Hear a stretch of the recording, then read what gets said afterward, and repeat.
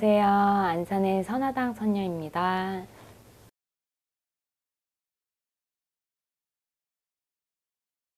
예전에 좀 흥행했던 영화 중에 박수건달이라는 걸 보면 음, 박신, 박신양 나왔던 거. 네네 거기 이제 박신양 씨가 교통사고를 당해서 응, 응, 손바닥을 다치면서 응, 응, 손금이 변해갖고 무당이 됐어요. 응. 그런 경우가 정말 가능할까요?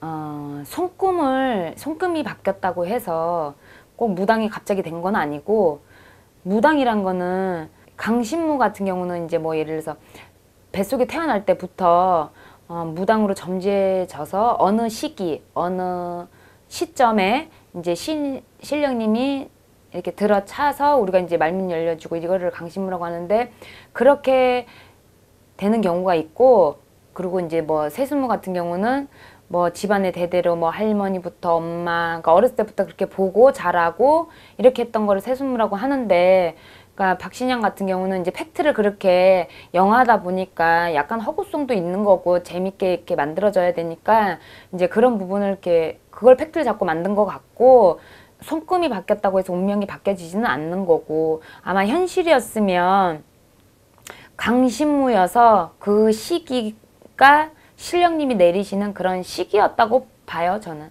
응, 그러면 실제로 보면 음. 손금 성형이다, 응, 뭐 도화살 성형이다, 응, 뭐 도화살 메이크업이다 뭐 이렇게 응, 관상이나 사주를 바꾸려고 했던 노력들이 굉장히 많아요. 응. 네.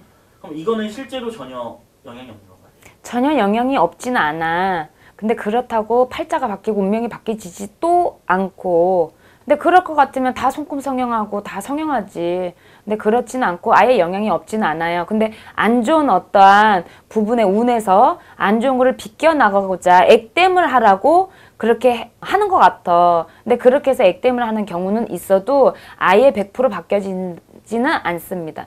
뭐 한때 유행했던 음. 도화살 메이크업 같은 거는 전혀 소용이 없는 거예요? 도화살이 없는데 도화살 메이크업을 한다 그래서 생기지는 않지만 그래도 자기 스스로가 꾸미고 하면 인기가 조금 생기진 않을까?